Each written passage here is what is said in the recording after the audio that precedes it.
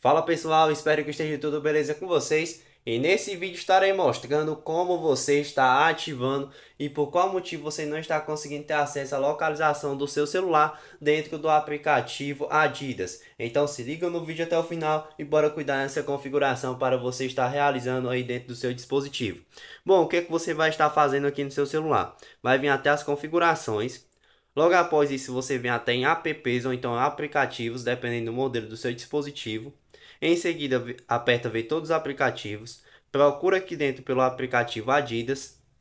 E em seguida vai vir até em permissões. Dentro de permissões, você vai procurar pela opção que tem localização. Selecionou a opção de localização, vai aparecer aqui permissão para acessar a localização Adidas, permitir que esse AP acesse a localização.